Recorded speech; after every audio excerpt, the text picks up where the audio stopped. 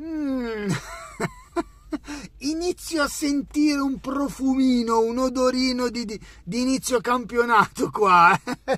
si avvicina l'inizio del campionato e le squadre iniziano a, a, a, mettere le cose in chiaro. Dopo le prime amichevoli un po' così e così, dove tutti eh, erano un po' preoccupati. Insomma, ho sentito un sacco di amici napoletani preoccupati per questo pareggio della SPAL. Seconda amichevole internazionale, prima internazionale e seconda amichevole di stagione, di stagione 4 a 0, perciò prego, servito, doppietta di Osiman giusto per far capire che non si è dimenticato, anzi che è sul pezzo, qua ci vuole il rinnovo ragazzi, ci vuole il rinnovo.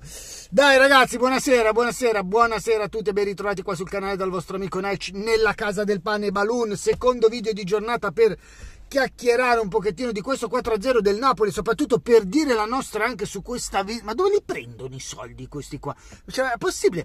Cioè, è un qualcosa di clamoroso. Cioè, Hollywood, per l'amor di Dio, a me piaceva anche molto. Però 85 milioni, cioè, avevamo capito che lui voleva andare al Manchester e sembrava, cioè, si sapeva che prima o poi sarebbe finita così, ma 85 milioni per Hollywood?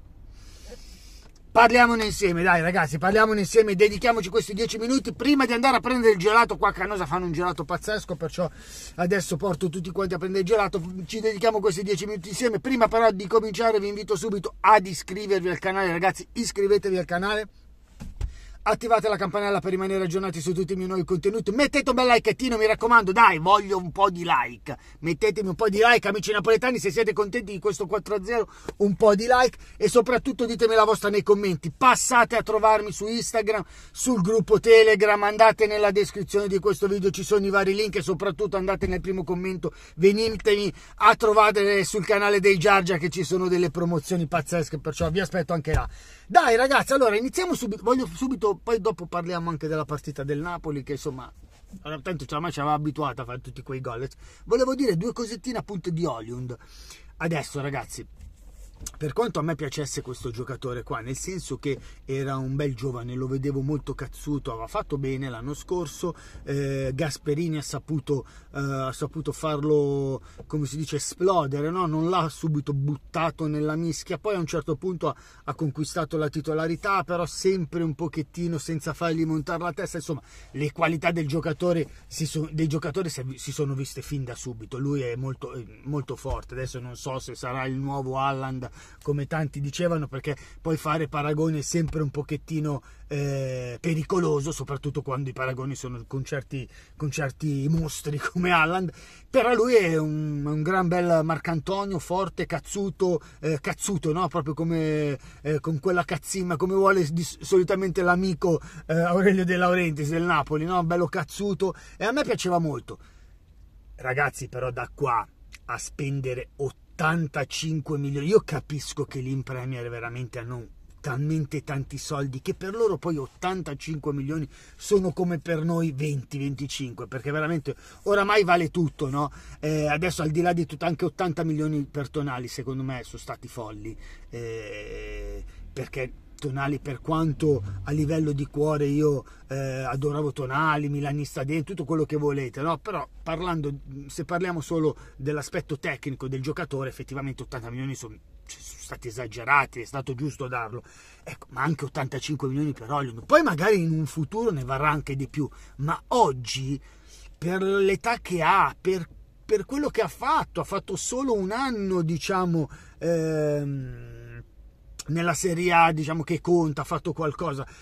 In Europa non si è visto, cioè vedete, sono tanti 85 milioni, cioè se tu spendi 85 milioni per Hollywood, ma quanto vale Leao, Osimen, eh, quella Kvaratskhelia, quanto valgono? Cioè veramente è pazzesco, oramai le, le cifre che girano sono cifre veramente da, da, da, da fuori di testa, ma non solo in Arabia, vedi anche in Premier, loro veramente... Eh, è snervante tutto ciò, è proprio snervante. Tu fai di tutto per cercare. Adesso per l'Atalanta sarà sicuramente contentissima perché secondo me, no, da quello che ho capito, forse è stata anche la vendita più alta che ha fatto nella storia il, il club. No? Cioè, secondo me l'Atalanta anche 50 milioni, 60 milioni l'avrebbe dato via subito ma 85 milioni si sfrega le mani non po- e, non, e, e, non, poco ragazzi perciò è tanta roba ragazzi il campionato italiano è questa roba qua oramai i campioni, i campioni, i campioni o i futuri campioni eh, vengono in Italia solo o a svernare quelli che sono a fine carriera o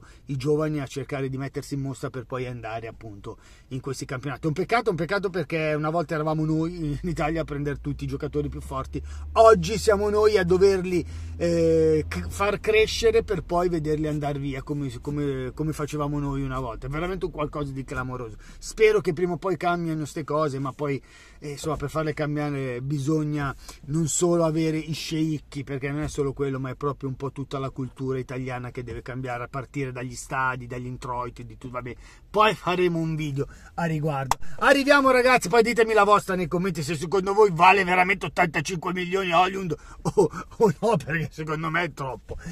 Arriviamo alla partita del Napoli che ho visto, non, non ho però 4-0 ragazzi, doppietta di Osimen, ha messo subito le cose in chiaro il Napoli dopo la prima... Eh, dopo la prima amichevole finita 1-1 con la spalla, insomma qualche critica di troppo, però sappiamo che il calcio d'agosto anche se adesso siamo ancora a luglio, però il calcio d'estate è sempre un po' così, c'è la preparazione di mezzo, ci sono i giocatori che tornano eh, dalle, dalle, vacanze, non tutti contemporaneamente, perché magari qualcuno torna più tardi perché è stato in nazionale, under 21, insomma, è sempre un calcio un po' particolare. Poi noi che amiamo questo sport non vediamo l'ora eh, di, di, di, di, vederlo, perché poi quando finisce il campionato passa veramente tanto tempo da quando rinizia, e allora appena ci sono gli amichevoli ci esaltiamo, anche con la spalla ci innervosiamo perché è 1-1, però effettivamente insomma è il calcio un po' così. Adesso che si avvicina il campionato iniziano i giocatori a sentire profumo di, di, di, di partite vere, di, punti veri, allora iniziano a essere sul pezzo e si è visto fin da subito. È vero che il, l'avversario del Napoli è un avversario che insomma è quello che è, però insomma è pur sempre una partita internazionale quando incontri quelle squadre lì turche soprattutto. Eh, che non conosci bene, no? Insomma, puoi trovarti sempre la sorpresa di turno, invece il Napoli non si è fatto assolutissimamente prende, trovare sprovvisto e, e ha, battuto, eh, la, la, ha battuto il proprio avversario per 4-0, doppietta di Osimen e nel secondo tempo per non farsi mancare nulla, visto che tutti quanti parlano sempre di altri, questo qui dice, ma aspetta, ci sono anch'io. Che ragazzi, scusate, ogni volta che entro faccio gol. Quello è Simeone, doppietta anche di Simeone, soprattutto il secondo gol bellissimo, eh, dove dribbla due giocatori e fa un pallonetto veramente, veramente molto, molto bello. Eh, insomma, ragazzi, il Napoli c'è. Ho visto, mi è sembrato di vedere eh, di captare una sorta anche di 4-2-3-1 del, del, Napoli, insomma, e poi è passato anche al 4-3-3 classico. Secondo me Rudy Garcia ha voglia anche non di cambiare, non penso che cambierà il modulo tattico, però vuole magari inserire appunto qualche altra inserire eh, fargli eh, come, si, come si può dire metterli nelle corde anche un altro tipo di modulo perché poi a partita in corso puoi cambiare. Insomma io, a me mi è sembrato di vedere un 4-2-3-1 l'anno scorso il Napoli ha fatto il suo 4-3 l'ha fatto talmente bene che poi quando una squadra va così bene fa così bene è sempre meglio non toccare nulla, come è giusto che faccia anche Rudy Garzia, non deve toccare nulla, però è anche giusto che gli eh, insegni anche a fare qualche, eh, qualche, altro modulo, che inizi a fargli entrare nella testa qualche, altro, qualche cambiamento, perché può,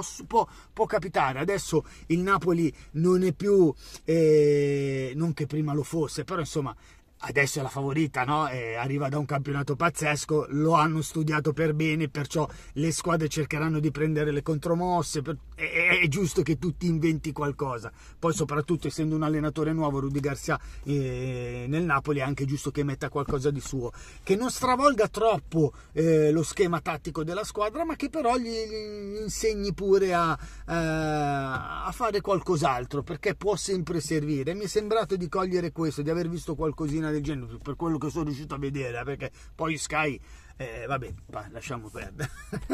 eh, Osimen l'ho visto molto molto sul pezzo ragazzi l'ho, l'ho visto anche il primo gol che voleva quasi spaccare la porta l'ho, l'ho visto proprio con quella, con quella, rabbia quella cazzima quella voglia di iniziare quella, quella voglia soprattutto di rimanere io lo spero lo spero ragazzi perché inevitabilmente prima o poi dovrà succedere, però spero che non succeda, nonostante io non sia napoletano eh, a livello di tifo, no? anche se poi sono un, uh, un, pugli- un, milanese, originario pugliese, ma con un cuore veramente napoletano, perché sono un napoletano mancato sono milanista, non tifo Napoli, però mi dispiacerebbe non vedere più Osimen perché vedere delle belle giocate, come non mi dispiacerebbe non vedere più magari Kvaratskhelia piuttosto che Lobotka. Quando ci sono questi bei giocatori è giusto vederli e tenerseli stretti. So che sarà difficile, però insomma io l'ho visto molto, molto volenteroso di rimanere e, voglia, e, e volenteroso di riprendere subito ciò che ha lasciato un mesetto fa. E dura, sarà dura quest'anno. Sa che il Napoli quest'anno non lo molla quello scudetto lì eh, bisogna fare qualcosa per potercelo portare a casa. Sarebbe bello poi riuscire a batterli, eh, gli amici napoletani. Dai ragazzi, allora io vado a prendermi un bel gelato. Qua a Canosa c'è il gusto per coca. Ragazzi, non potete capire, voi non lo potete capire. Il gusto per coca è un qualcosa, solo a Canosa lo fanno il gusto per coca, mai visto da nessun'altra parte. È un qualcosa di clamoroso, è buonissimo. Perciò me lo vado a prendere, porto la mia famigliona a mangiare il gelato. Vi abbraccio di cuore a tutti quanti, ci vediamo domani, mi raccomando. Passate dal canale dei Giargia, ragazzi, fatemi questo favore, guardate, entrate nel sito. Fate, fate. Un abbraccione di cuore a tutti, like e ci vediamo domani. Bye bye.